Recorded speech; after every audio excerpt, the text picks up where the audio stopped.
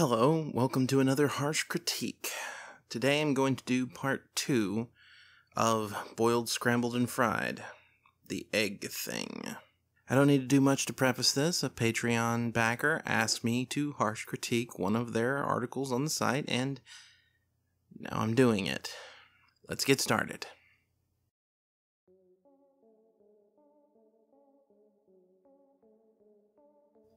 So the name of this is of course, Let Me Cure Her Daddy. Which I really, really, really hate. The wounded, bleeding janitor poked SCP-049's knee and whispered something, raising her hand to point down the hallway. 049 had hoped had been able to clean her injuries in peace, but this matter would have to be dealt with first. Beneath the rays of the last functional ceiling lights stood a hideous thing. Of course, they have to say in the narration that it's hideous. They can't just describe it. They have to let you know. By the way, because like later on it goes could only be described as a bird-faced rag doll. Like if someone told you about a bird-faced rag doll, they don't have to tell you that that is a hideous thing or a living bird-faced rag doll. Anyway, gripping a sharp stick. Put the bandages down, old man. Unsurprisingly, it was SCP-049-J, who had no doubt been stalking the old... What? Unsurprisingly, no doubt been stalking. Why is it unsurprising? I don't. That, that doesn't follow logically. Like, it just is SCP 049 J specifically because you know what he looks like. So, it's unsurprisingly, why would you say that? That doesn't. Ah, boy. It could just be put the bandages down, old man. SCP 049 J said Everyone's always afraid of using said. Said is the basis for most of your dialogue. You don't, uh, whatever. Who had no doubt been who had no doubt been stalking the older plague doctor, bringing along its inferior and hmm, bringing bringing along its inferior medical knowledge. Again, you you don't you don't demonstrate anything. You just tell me about it. Go away, SCP-049 responded, unamused unamused. This is the problem with this writing. I gotta say, it's better than it was last time around, but still, there's these little things. And again, responded unamused, which you don't have to tell me he's unamused. Go away. Gives me context for his attitude. Normally, it would have been something to lecture the dumb bird with. Not a bird. But it swore this happened every time it had tried to heal someone and it was getting tired of it. Did that thing actually have a brain? You mean the thing that walks around, has reason, and talks, even if it is pretty insane? Yeah, probably has a brain. The poor doctor turned around to assess the janitor's injuries, but as soon as it had, it heard a horrid shriek and the frantic pounding of feet from behind. SCP-049-J kicked the janitor right in the jaw at full force, sending her rolling in pain down the hallway and into a closet. You're talking about something incredibly tiny kicks someone and with enough force to roll them down the hallway? That's a completely new anomalous feature for this particular thing, but alright. What are you doing, you madman? Which, that's realistic dialogue.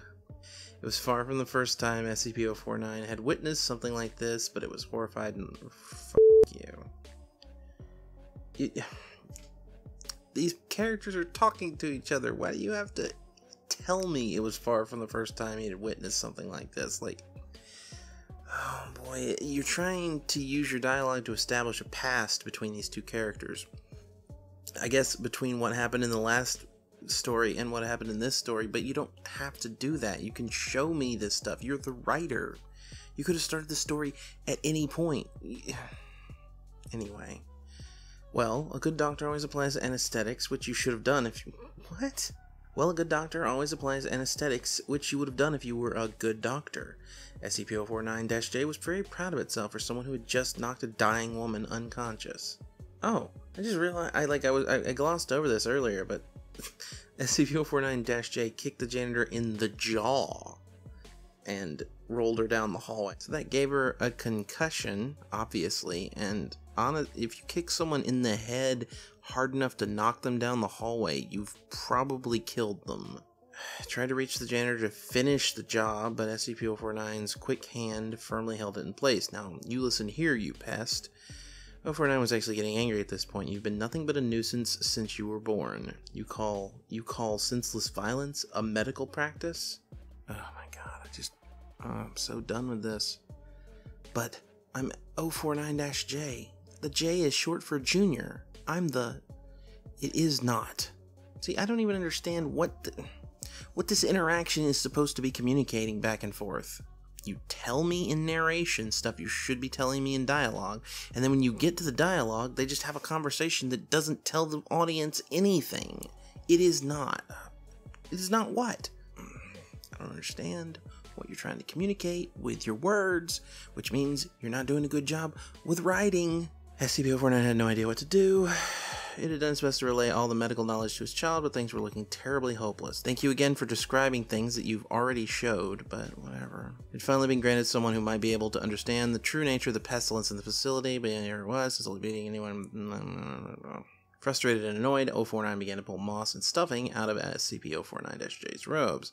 Help, help, he's killing- See, this is actually kind of funny, for once. He's killing a doctor, medical malpractice, SCP-049. All this relies on the fact that 049-J is already pretty funny on its own, just adapting the character. While SCP-049-J screamed and struggled from 049's grasp, the janitor was slowly crawling through the shadows. The janitor, which was kicked in the face so hard that she was knocked unconscious and down the hallway, is now conscious again, I guess, and crawling down the hallway. She tried to stay silent as silent as possible. She received some real medical attention, but even in the frenzy, she wasn't able to stay hidden enough. SCP-049 eventually broke free and gave her another sharp whack with its pointy stick. Effective, most effective. 049-J raised the stick again for another strike, but 049 had the time to seize the weapon first. You could have had the time to? Did he, though? This is something, and, and, and, and I'll say, this is something I do sometimes in writing, too, where you go like, so-and-so started to rev his engine and then move on and then you're like well he, did he start or did he actually do it? In this particular case it's 049 had time to seize the weapon first but did he? Once more and i'll break it. You wouldn't. 049-J put up a very good fight for something that looks so small and so soft you could describe a fight, but you know, whatever. Which you do. You do describe a fight, but then you preface it with, this is going to be a very good fight. 049 had to use all of its strength to hold on to the stick. You can't just. You can't just tell me that it's good. You have to show me that it's good, and it's not that good. In fact, they were both so focused on stopping each other that they momentarily forgot how close they were to the janitor. Losing their balance, they trampled her arms, neck, and spine, mercilessly crushing her.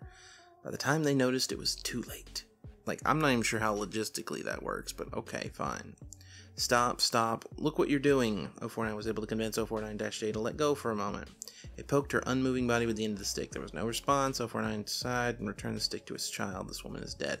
This is your most effective cure. Do you have anything to say for yourself? 049-J carefully thought about the question for a moment. A very short moment.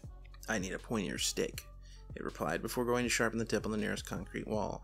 Defeated, 049 sat down on the other side of the hallway, tucked its knees, and put its hands over its face. This was all a big mistake. Just a big mistake that could have been avoided if it hadn't been alone with him. Oh, Dr. Ham, what have we done? I have no idea.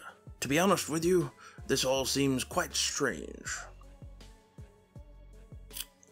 Yeah.